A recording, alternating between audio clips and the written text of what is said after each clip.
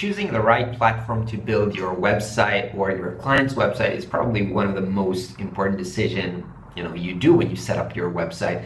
And today i want to discuss two platforms wix which is a super easy platform if you don't know anything about design and coding because it's simple drag and drop platform and webflow which is a bit more kind of code oriented you don't have to code but you have to understand the logic of building websites. So here's the story I have a friend who lives in Buenos Aires, Argentina. He's a chef and he has kind of a bread and wine shop with his wife over there. Super awesome place. He tried to build his own website by himself. Since he's not a designer, doesn't know how to code, he tried using Wix.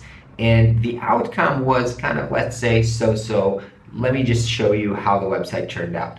So this is basically what he was able to come up with. Uh, he's got the logo here and he's got like multiple navigations. He's got kind of a top navigation. The website is both in English and Spanish. He's got social links here. He's got lots of links here. Some of them are, uh, you know, to scroll in this page and some of them actually move to different pages. Um, he's got multiple forms going around here. Uh, this one, for example, signs you to a MailChimp mailing list, and this one is kind of a contact film uh, form. So basically, he was emailing me, asking me for feedback. How can he improve this? I try to help him over email, but eventually he kind of just sent me the login details for the Wix uh, editor and said, yeah, just do it yourself. Please help me and fix this. So this is actually how the Wix uh, website editor looks like, and it's super, super simple. Again, if you don't know anything about creating web uh, website, you can just drag and drop here, and it's super visual and it makes sense.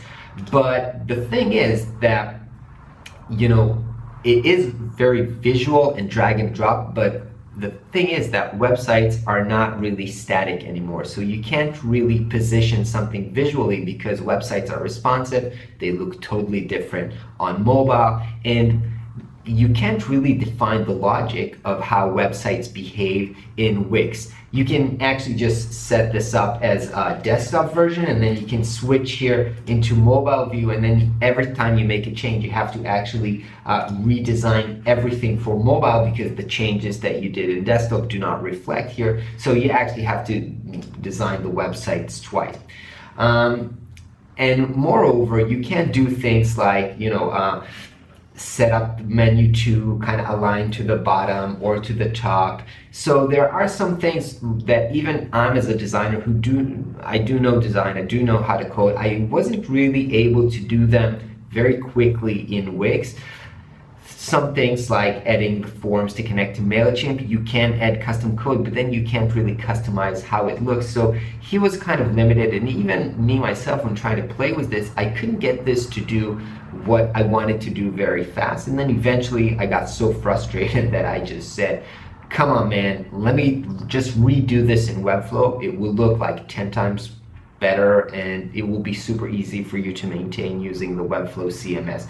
Now, my friend was a bit concerned because he doesn't want to be dependent on me every time he has to make a change. And I hope he won't have to have me as a designer because the Webflow CMS to edit the content is wonderful.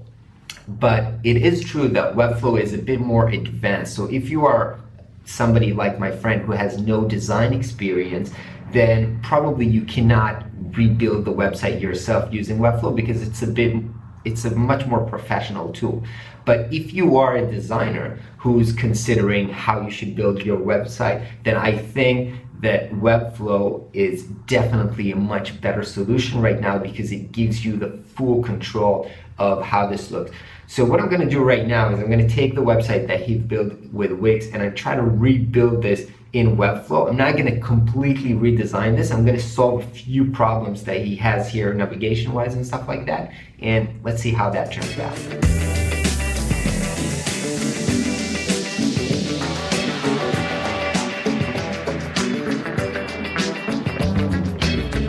So the website is now complete. It took me three hours, around three hours to build it, including a little lunch break because I got so hungry that I couldn't concentrate on working anymore. Let me show you what I did and how this looks.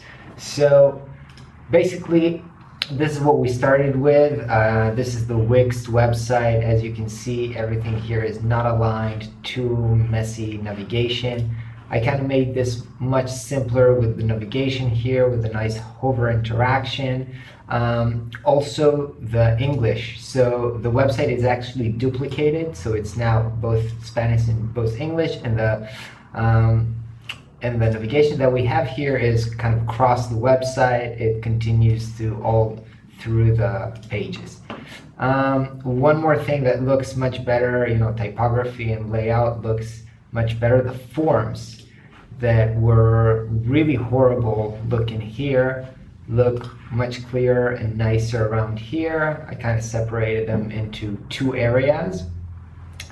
And the menu, which was here, basically here there was two language in one menu and it was kind of messy and not very pretty. So what I did, I kind of separated this per language and I've used the CMS for this. And let me show you.